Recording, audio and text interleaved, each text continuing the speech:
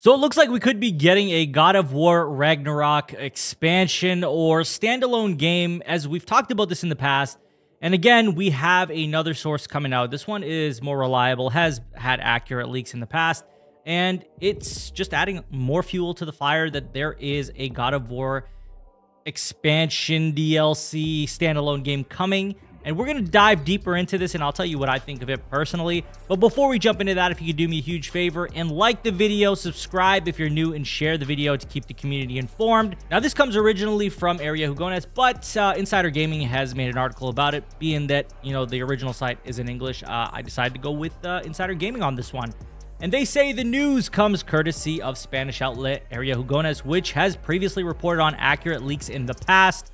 According to the outlet, the news comes from sources close to Sony that claim that the DLC could come as its own standalone game, somewhat similar to Spider-Man Miles Morales. The report outlines that its sources are unclear on how the DLC will be announced, but they have theorized that all signs point to an announcement at this year's Game Awards, which will be on December 7th, 2023.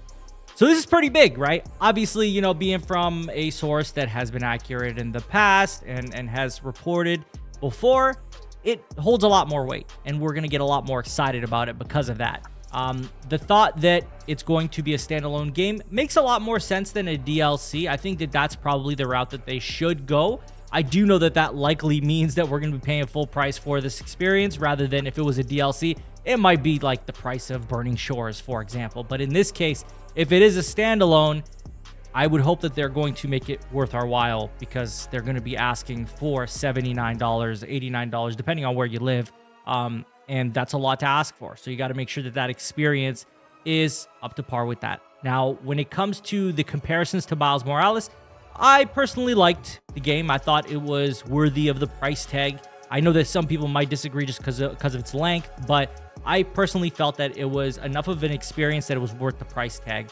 So if they have a similar experience with God of War's next entry, I don't know what to call it, if DLC next entry, you get the idea, then uh, I, I would be okay with that price tag. But overall, it doesn't look like there is a 100% confirmation of this is even being in existence, right? These are still coming from sources that are not official sources. So with that, I would say just keep that in mind that, you know, this is still technically rumor territory, but it's starting to look a lot more plausible given the people that are coming out and talking about this.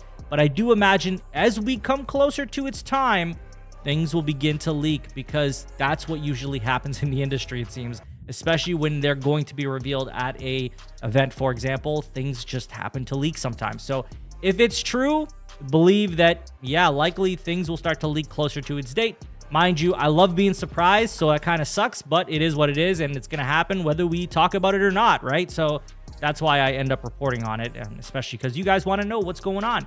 Um, in terms of its announcement at the Game Awards, again, that's pure speculation. They're theorizing, right? A lot of people took that as meaning as they are saying it's going to happen here, but in reality, they're just theorizing that that's somewhere that it could happen. Again, where this game is going to take place, we don't know. I mean, some have speculated, including myself, that it would be an Atreus game. You know, he's going off on his own adventure, seeing where that goes. It's a testing ground, seeing how people receive an experience that's only Atreus. But I also could be wrong. I could be very, very wrong about this, and it could be a Kratos game. We don't know for sure. Or it could be both characters in the game again, right? We don't know exactly where it's going to go uh, in this case. But regardless, I'm pretty confident with Santa Monica Studio, man. They they have proved themselves time and time and time again. They have not put out a miss ever in the history of the studio. So it's important to note that they know what they're doing. I have full confidence in them, and I'll allow them to uh, do whatever they want, and I'll give them a fair chance always because they have yet to steer me in the wrong direction. So